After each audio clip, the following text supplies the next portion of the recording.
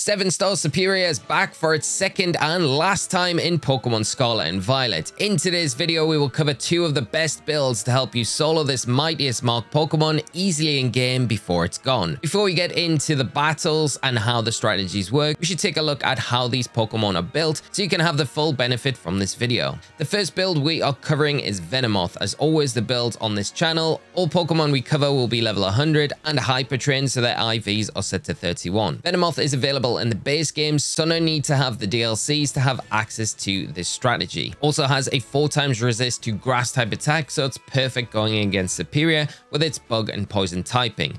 The Tera type here is Poison and the Shell Bell as the held item for a line of recovery throughout the raid. The moveset is Morning Sun, Skill Swap, Acid Spray, and Sludge Wave. And just a quick note that Morning Sun is an egg move, so if you're using this, get a Mirror Herb item and put it on a Pokemon that knows this move, put them in a picnic, and it will transfer over to Venomoth. I do have a guide on transferring moves on the channel if you want to take a specific look at those mechanics. The EV spread is 252 EVs in special attack and 120 28 EVs in both of its defense and special defenses with a modest nature. The ability here is Wonder Skin, quite an important one. Now the raid's going to start off with the Serperior using Sweet Scent. With the Wonder Skin ability though on the Venomoth, it does have a 50% reduced accuracy. So as you can see here, one of the benefits of this ability means that it doesn't get that 100% accuracy boost throughout the rest of the raid. The first turn after that, you're going to go for the skill swap. Until is going to be boosted this turn by the Intimidate user on our team. So sometimes if you don't have an Intimidate user, it's not going to be hitting as hard, but don't worry about that so much because that Intimidate will start to cycle throughout the rest of this raid and it will reduce the attack power on the Serperior. Next turn, we're going to, after that skill swap, just go for an Acid Spray. You want to try and get three of these off as soon as possible, not only lowering the special defense by two stages on the Serperior every time you use it, it's also getting you to the point where you can terastallize and then up the damage output from the Venomoth. Just keep an eye on your HP when you're going through these next few stages. If you are getting in danger of getting knocked out, just use a Morning Sun, just recover some of that health off. Just fire off the acid sprays though, as you would normally in any other situation. You will be recovering health as you go, but like I say, just keep an eye on your health. You don't want to get knocked out unnecessarily in this raid, but the Iron Tail now not doing too much damage as we get closer to that third and final acid spray that we need for this initial setup. And that takes the Serperior down to minus 6 special defense, like we've already mentioned. Now we're ready to terastallize the next turn and fire off a Sludge Wave, which is going to do some big damage. And this is what we're looking for. That first step where it nullifies stats and abilities on our side of the field is going to fire off a Breaking Swipe, of course. But because we're a special attacker, it's lower on our attack, so not really going to affect us too much in this raid. And we are now, after this, going to be ready, like I say, to go for that terastallization and go for that big, powerful Sludge Wave and we do have that minus six special defense now set up on the Serperior which is great. So there we go doing some nice big damage and making some good progress in this raid and there's only going to be one step after this. The next stage that we're looking for is that shield going up which we can see now.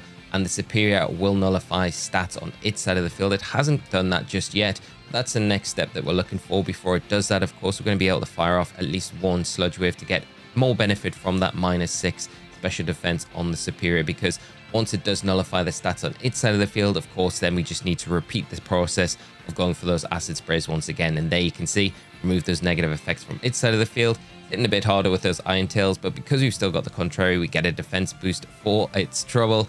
And now we just need to fire off three acid sprays and then finish up the raid with those sludge waves. So it's spray number three. So we're ready now just to close this raid up. Like I say, it's very straightforward with that final sludge wave that's going to be able to probably two or three of them is going to be enough to close it down. You're going to see the standard glare come out at this point in the raid as well. It will paralyze one of the target Pokemon on our side of the field. Thankfully for us, it's not our Venomoth. If you're worried about that when you do get paralyzed, you can go for a heal cheer just to get rid of it, but it's not really necessary. And with 50% of the raid timer still left, we're in such a good position just to close this out as quick as possible. Like I say, probably three to close this up completely. And with one more Sludge Wave, with 50% of the raid timer left, you are easily able to take down the Serperior. And like I say, it's a great way to farm Herba Mystica over the weekend while this event is running. The Delphox is going to have a fire typing. It's going to have the Shell Bell as its held item for that line of recovery. The moveset is going to be Nasty Plot, Skill Swap, Flamethrower, and Overheat with the ability Blaze. And its EV spread is going to be pretty straightforward, 252 EVs in HP and in special attack with the remainder put in special defense and a modest nature. So with the Delphox on turn one, we're going to go into the raid and use skill swap. We are going to see the Intimidate fired off. If you've got an Intimidate user on your side of the field, it will give an attack boost to the Serperior. But once you've taken away that Contrary ability and we've obtained it, any of those Intimidates for the rest of the match will mean that they're dropping the attack stat on the Serperior, kind of keeping those attacks in check.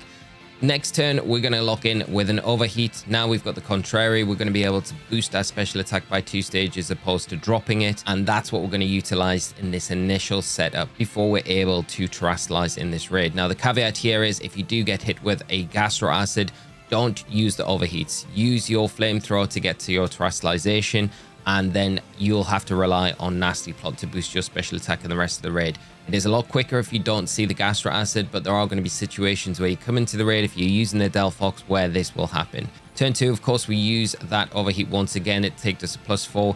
We're going to see the stats and abilities nullified on our side of the field probably after this next one on the Serperior. This takes us to plus six special attack which is great. Like i say in the initial setup of this raid it will nullify these stats take them away so we'll have to repeat this process. But the big important key here is that we're close and able to terastallize this next turn which is the main thing in the raid. We are going to see the shield set up on the Serperior. That's fine. And it should follow this up by resetting our stat boost on our side field, which we do see here, although the text isn't fully clear on that message. But we will see the breaking swipe come out because our ability has been nullified. We do take the attack drop, not going to affect us too much in this raid.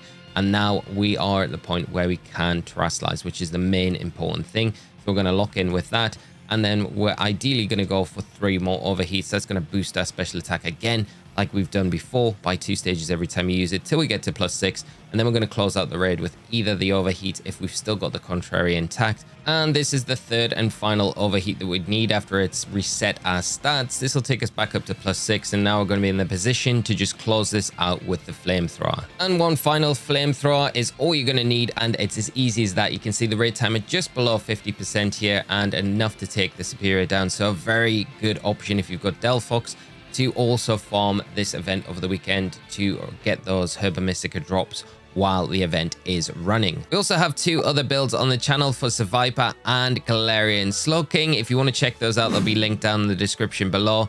And if you found today's video useful and enjoyed the builds, please do drop a like. Do subscribe to the channel to stay up to date with all of our Pokemon Scarlet and Violet content. Thank you so much for tuning in, friends. Have a great rest of your day. Enjoy the event over the weekend, and I'll see you in another video very soon. So until then, take care and bye-bye.